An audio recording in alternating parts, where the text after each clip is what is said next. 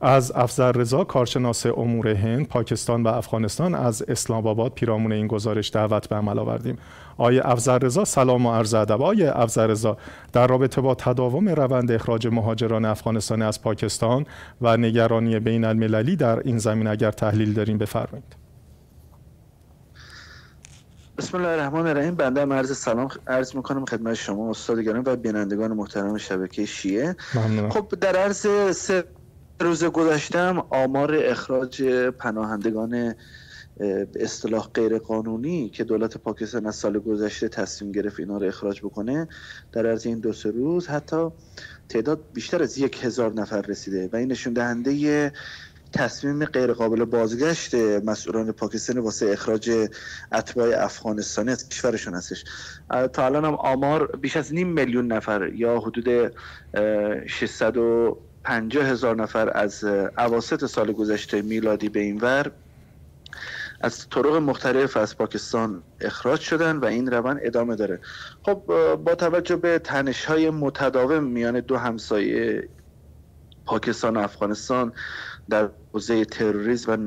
نارامی های مرزی و تداوم اتهامات طرف پاکستانی مبنی بر اینکه نه تنها تنش مرزی از سوی افغانستان داره بهش دامن زده میشه بلکه اتباع افغانستانی در حملات تروریستی مختلف علیه نیروهای امنیتی و غیر نظامیان مثل اینکه دست داشتن. چندین دفعه طرف پاکستانی مدارک و اسناد به طرف افغانستانی با وجودی که مطرح کرده کشور افغانستان مدعی هستش که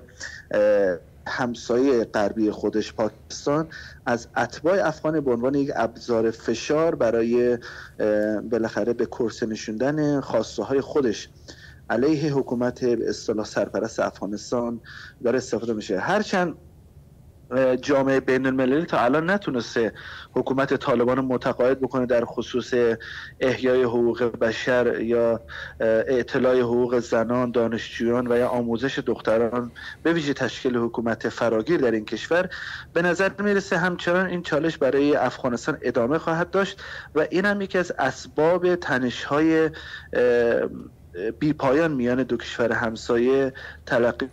میشه. آیا افزر رضا اتحادیه اروپا و نهادهای بله به طور مختصر بفهم آیا دستاوردهای نشست دوحه از نظر شما برای مردم افغانستان نتیجه بخش بوده؟ خیلی مختصر بفهم با, با, با توجه به اینکه اولین باری است که طالبان بعد از اینکه به روی حکومت اومد